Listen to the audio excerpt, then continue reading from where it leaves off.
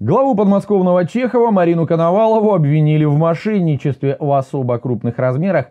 Чиновница пыталась провернуть аферу по прихватизации целого здания в городе, но обо всем по порядку. Схема не нова, работает так. Допустим, кому-то приглянулось помещение в бойком месте, как вот в данном случае, или земля. Желающий заиметь идет и договаривается с чинушей, тот в свою очередь – по липовым документам выводит нужную недвижимость из-под юрисдикции муниципалитета и продает затем за 3,50 в смысле 3,50 казна получает, чинуш это на карман хорошо отваливается. Коновалова, в общем, этим и занималась, когда попалась. Слушайте, ну что тут можно сказать? Никогда такого не было, и вот опять. На самом деле подобное сплошь и рядом происходит, просто не всегда шум поднимается, а иной раз – Мошеннические сделки даже приветствуются типа общественностью. Хотите конкретный пример? Сейчас будет. Начинаем.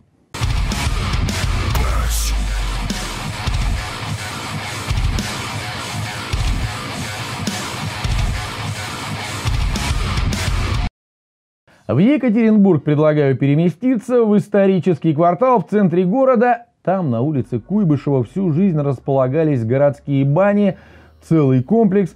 Со времен царя Гороха они там стояли, находились эти бани, понятно, в муниципальной собственности, даже являлись памятником архитектуры и вот.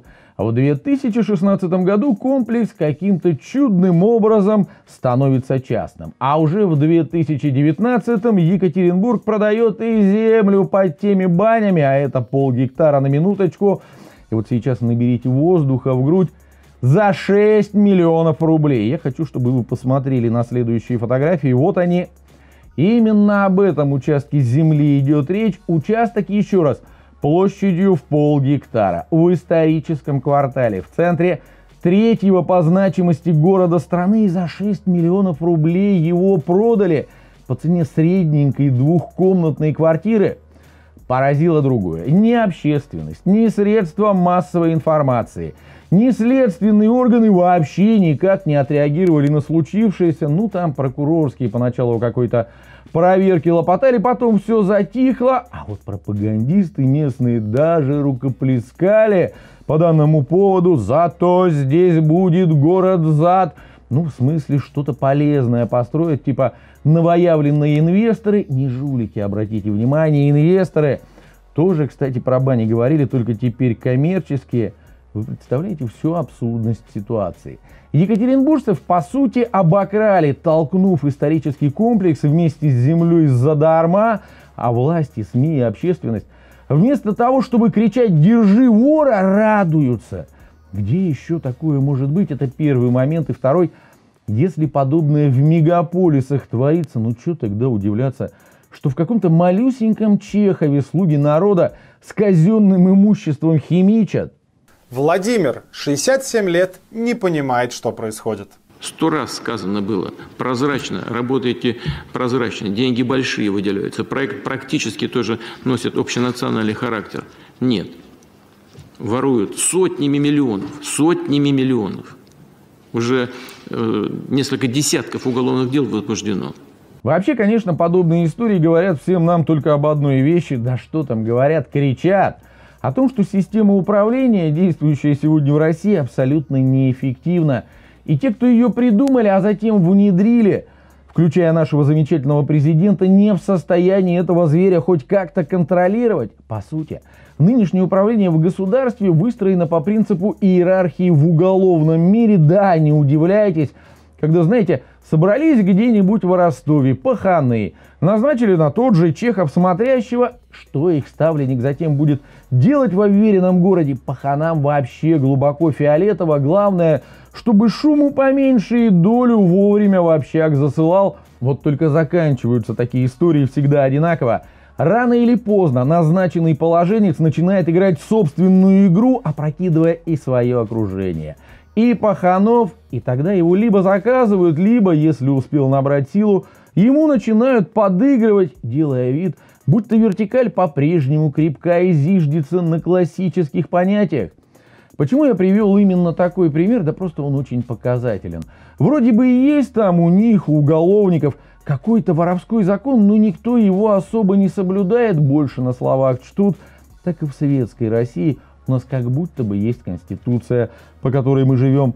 У нас как будто бы имеется какая-то вертикаль власти и даже существуют структуры, которые также как будто бы контролируют законность происходящих процессов.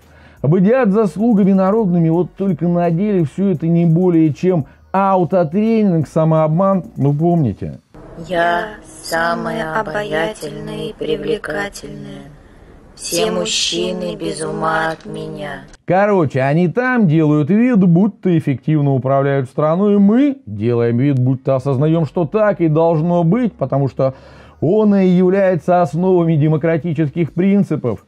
Это реальная журналистика с новостями из Дома печали. Поехали! Депутаты Яровую чего-то добрым словом давненько не поминали, а мадам, между прочим, трудится, не щадя живота своего на благо народа, идеями продолжает фонтанировать. Глубокими мыслями и высказываниями удивлять пару последних таких высказываний давайте вам процитирую. Хочу спросить у производителя отечественных самолетов. Сегодня у вас падают самолеты с простыми людьми. Завтра с депутатами Госдумы. Послезавтра, не дай бог, упадет самолет с Владимиром Владимировичем. Вы понимаете, что это государственная измена? Это целый заместитель председателя Государственной Думы сказал политик со стажем. Яркий представитель крупнейшей партии в стране, человек, который инициирует, лоббирует и принимает законы, мы с вами э, по ним затем живем. Или вот еще из свеженького.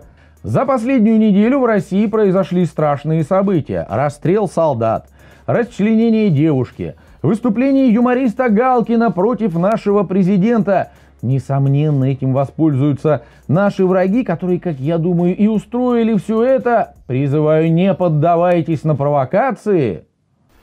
Да что ты, черт побери, такое несешь? Вообще, если говорить серьезно, вы знаете, я в последнее время все чаще ощущаю себя на месте главного героя фильма «Обитель проклятых». Вкратце сюжет картины давайте расскажу психиатрическую лечебницу, которая расположена на острове в океане и где содержатся самые опасные психи, приезжает молодой врач.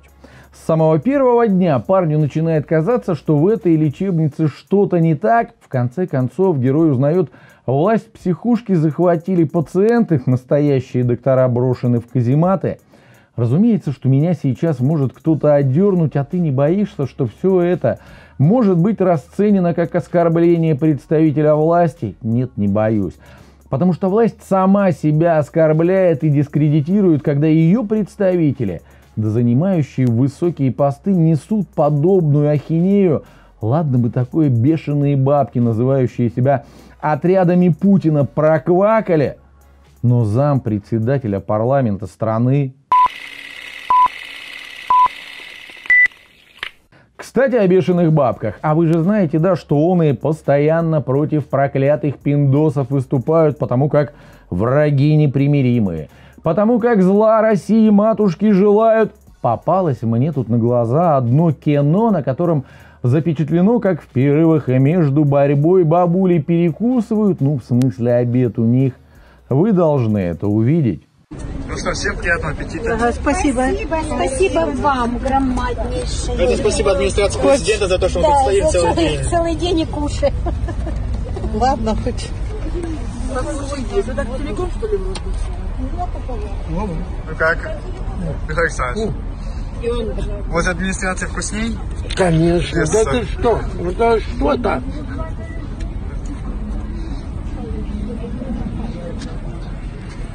Я даже комментировать ничего не стану, одну маленькую ремарку себе позволю.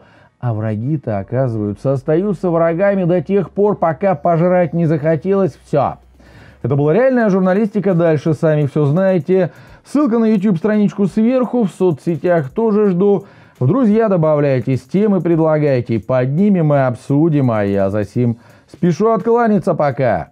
Пока. Если строгая моногамия является верхом добродетели, то безусловную пальму первенства нужно отдать ленточной глисте, где в 40 тысячах ее значит, членниках располагаются и мужской, и женский аппарата, и она всю жизнь только тем и занимается, что совокупляется сама собой.